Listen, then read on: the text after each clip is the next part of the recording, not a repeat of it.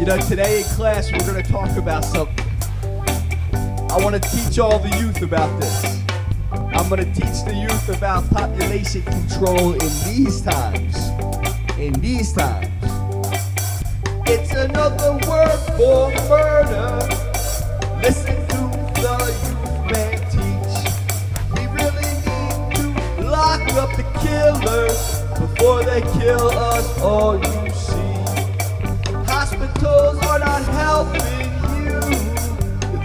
Death camps for you. The food industry is in on it too. Making money while keeping you sick. Then the hospitals make profit. You know, I've been studying my African proverbs.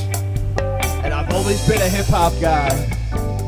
But every now and then you gotta teach the older people too about things that they've turned away from. Listen to this. They want to lock you up in asylums because you expose their corruption. The tech companies are in on it too. Give them pharmaceuticals and let them die soon. 5G radiation is killing your cells. When you go into the hospitals nowadays, you're not even allowed to be around your family. But you can have your smartphone. Your internet modem is making all this stuff fry your household. Television does not have one good show on it these days. and the computers have turned into whorehouses of free pornography to control men in a fallen state. The information age is used to divide. Did you subscribe?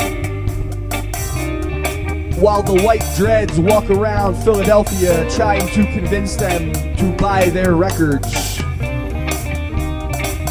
I'm out here putting bullets in their fucking heads. Got a bullet in your head.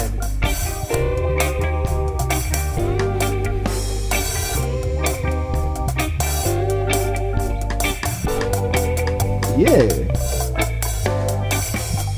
This is all I'm teaching you today in class. So when you come back tomorrow and you pay a thousand dollars a month for schooling your parents, and their rent goes up and the taxes go up, remember who you heard this shit from.